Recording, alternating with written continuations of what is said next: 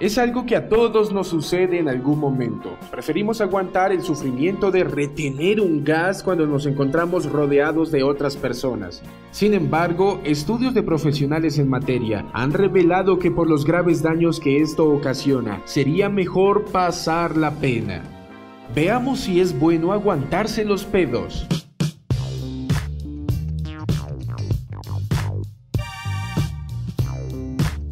Claire Collins, una respetada experta en proctología, ha afirmado que aguantarse lleva a más presión y mayor incomodidad. Una acumulación de gas intestinal puede desencadenar distensión abdominal, con algo de gas reabsorbido en la circulación y exhalado en la respiración. Prácticamente es como si el gas literalmente saliera expelido por la boca. Collins añadió que cuando uno resiste soltar una flatulencia, lo más seguro es que se acumulará ese gas y se formará uno nuevo mucho más grande y así sucesivamente hasta que sea imposible de controlar y la vergüenza se haga peor. Sin embargo, todavía la comunidad científica no está del todo de acuerdo con las consecuencias que conlleva aguantarse un pedo. Las versiones se encuentran divididas. Algunos afirman que se originan principalmente inflamaciones intestinales y diverticulitis, entre otros males. No respeta edad, género ni condición. Todas las investigaciones concuerdan con que no se diferencian los hombres de las mujeres en cuestión de pedos. Ambos promedian cerca de 8 gases en 24 horas, aunque en momentos de dormir también hay producción de flatulencias inconscientes.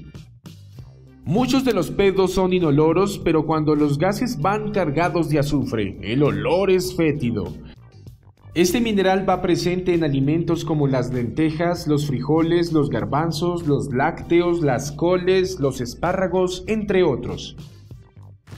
Los médicos dicen que si se han ingerido y se presenta una urgencia de dejar soltar una flatulencia, lo mejor es salir y hacerlo en un sitio apropiado. Cuando a la gente le cae mal una comida, al poco rato de haberla consumido, el cuerpo comienza a lanzar unas señales que son nada más ni nada menos que uno o una serie de gases. El hombre que murió por aguantar un pedo. Así le sucedió a Jorge, un mexicano que en cierta ocasión fue invitado a cenar por su suegra. Apenas terminaron la comida, sintió la pesadez estomacal y la inflamación de su vientre. La charla estaba muy amena y de repente comenzó a sentir los primeros gases, con los que luchó al principio sin tanto problema. Ya después se fueron acumulando y estaba a punto de reventar, pero no podía permitirse dejar escapar ni medio gasecillo por temor a quedar en ridículo enfrente de su enamorada y la mamá. Así transcurrieron las horas y ya casi a las nueve de la noche se levantó de la mesa con un espasmo estomacal que lo hizo caer al piso del dolor.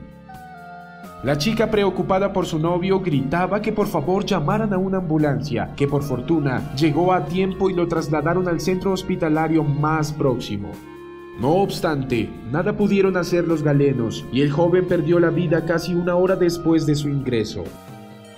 De acuerdo con el diagnóstico del médico que lo recibió, la causa del deceso fueron unos divertículos que se le formaron en el intestino grueso, todo por aguantarse exageradamente la salida de los gases durante un largo tiempo. Eso desencadenó en una peritonitis crónica y por supuesto el fallecimiento. Realmente, la sociedad nos ha hecho ver muchas cosas naturales y simples como algo de mal gusto y asqueroso. Así sucede con los gases que son generados por la acción digestiva en los intestinos y el aire que entra al cuerpo. Consecuencias nefastas. Si no se expulsan correctamente las flatulencias, la salud se puede ver gravemente perjudicada. Todo comienza con un fuerte dolor de estómago, luego se hincha el abdomen. Un poco más tarde, el olor ya es intenso y si sigue transcurriendo la lucha por aguantarse, la peritonitis no se hace esperar junto con la diverticulitis. Para evitar estas molestias y peligros, los médicos recomiendan una alimentación balanceada, rica en fibra, libre de lácteos, carnes rojas, grasas, harinas refinadas, frituras y en cuanto a las hortalizas, se deben evitar o comer un mínimo de frijoles, rábanos, coliflor, brócoli, pepino, cebollas, entre otros. Algo en lo que más coinciden y son más radicales los médicos es que en los pacientes deben a como lugar abandonar los refrescos gaseosos y las cervezas, ya que su consumo implica un montón de gases en el intestino y serios daños en todo nivel. Si el refresco se bebe con popote, las consecuencias se triplican.